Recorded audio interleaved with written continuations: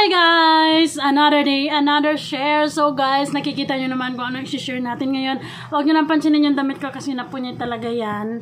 Punit na kasi to. Masyadong comfy kasi itong damit na to. Manipis, malaki. And, ayun, ma malamig yung tela niya. Ang init-init din kasi. So, hindi pa ako nakapagbihis. Maligo kasi muna ako bago ako magbihis ng ah, damit. so, dahil um, natuwa ako sa mga nakikita kong ganito, oh, 'di ba?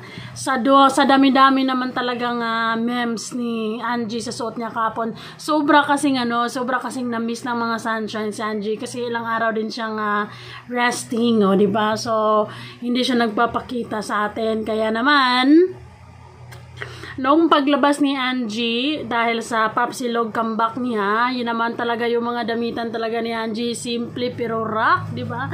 Nung bumalik na siya sa bahay ni Kuya, ang dami-daming nagawang, ano, nagawang imagination, or hindi lang imagination, nagawang memes talaga sa mga damit, memes or memes, how do you guys pronounce it? Memes or ganon.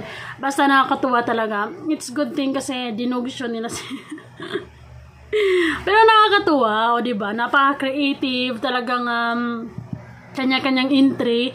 At ang napili ko talaga is ito, di ba? Yung uh, sa dalampasigan ng lahat nagsimula, ito yung napili ko kasi di ba, yung sa dahil favorite ko yung uh, kantang dalampasigan ni Angie at nakaka-relax din yung ano niya. Very creative talaga ang mga uh, ibang sunshine sa Twitter. Kanya-kanya silang entry, kanya-kanya silang pasiklaban ng mga entries. Ginawa nilang lagay ng popcorn si Angie, Candice, uh, kung ano-ano pa. Marami pang iba. For sure, nakikita nyo na yon di ba? Grabe naman yun. Oh, oh, oh, oh, oh, oh.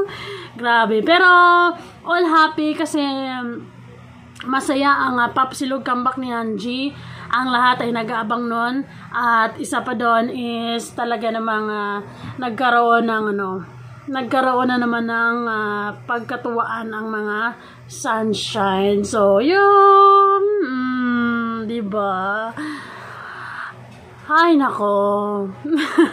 Ibang klase naging kasi itong mga outfit ni Angie. Napaka-simple, pero yun nga yung rock. Ang lakas ng dating. So, yun guys. Ano sa mga uh, entry ng mga sunshine ang pinakagusto mo? Sa akin ito.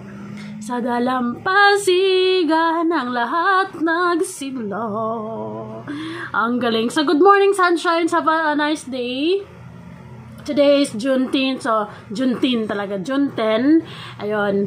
Mm, ayun. Sobrang ganda niya dyan. Happy, happy lang. Happy? Later.